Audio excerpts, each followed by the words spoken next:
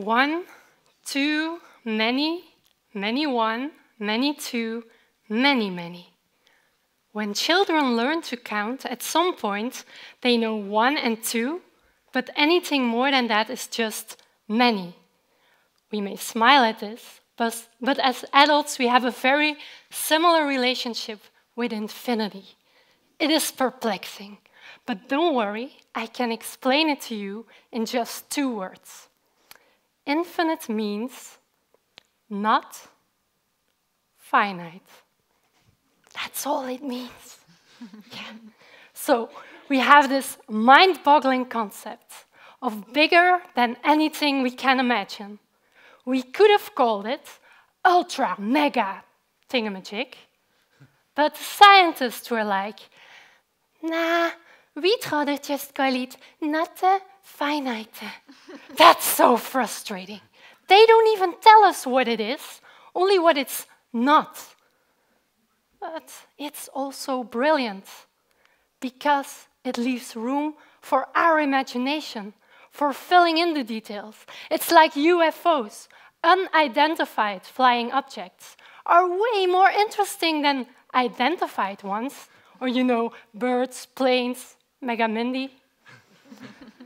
Likewise with infinity. It has inspired generations of mathematicians, philosophers, artists. So now, do we know anything more about infinity than that it's not finite? My question tonight is, can we count infinity? yeah, some of you laugh, but I know some of you are thinking, no, counting infinity, is she barking mad? Well, if you have this intuition, you are in good company. Galileo Galilei thought like this. He considered the natural numbers one, two, three, and so on. There are infinitely many finite numbers. That's already borderline paradoxical. But Galilei went on. He thought also about the even numbers two, four, six, and so on. Also infinitely many. So can we compare them? On the one hand, Galilei said, clearly there are equally many natural numbers and even numbers. There is a one-to-one -one correspondence between them. One corresponds to two, two corresponds to four, three corresponds to six, and so on.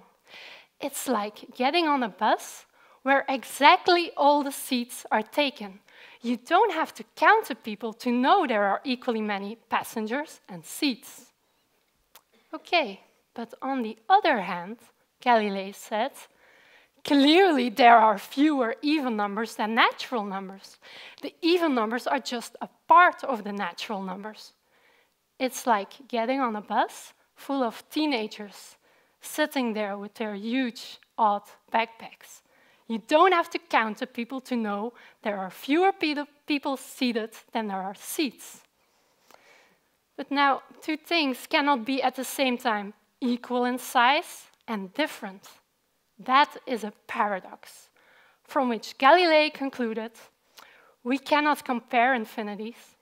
They're all many. But maybe some of you have the intuition that there really are equally many natural numbers and even numbers. Maybe this is what you have been taught in mathematics class.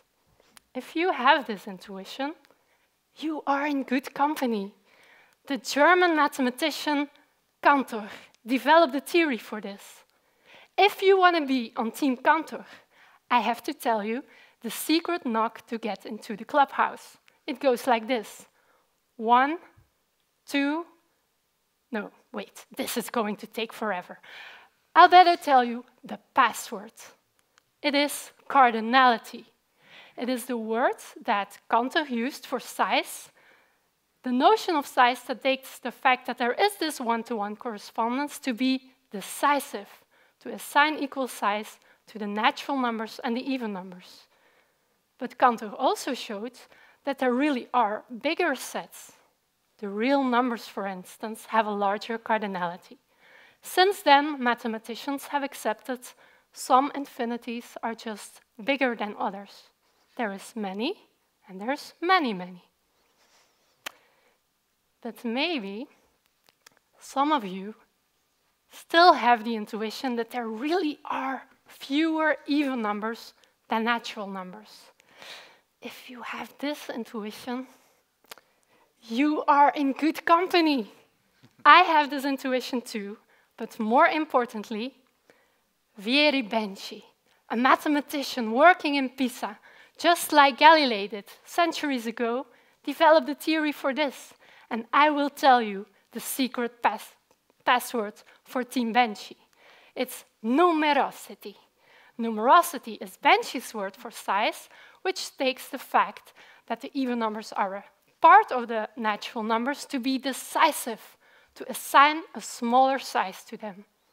Numerosity agrees with cardinality that there is many and there's many, many, but in between there is many one, many two, and so on. Now, the paradox is avoided because we now have different words for two aspects of size, and cardinality is a more coarse-grained notion, whereas numerosities are more fine-grained. Oh, all this thinking about infinity. It really reminds me of shadow boxing. You know, shadow boxers, they, they look as if they are attacking an invisible opponent, but it's not like that. They are training. They want to be well prepared for the next time they meet a real world attacker. Thinking about infinity is like that. It is great training for thinking about confusing concepts. It's about dodging the paradoxes and aiming for clarity. That is very useful in science, of course. Just think about the visible universe. It contains many, many galaxies, each of which contain many, many stars. These are huge but finite numbers. But some physical models tell us that outside the visible part, the universe is truly infinite. And we know that it is expanding. So it's already infinite and getting even bigger. It may continue to do so for all of eternity.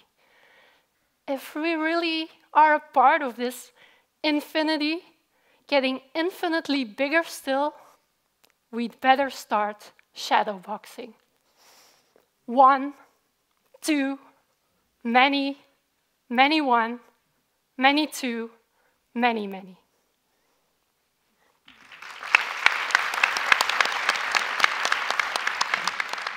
Sylvia Wenmackers.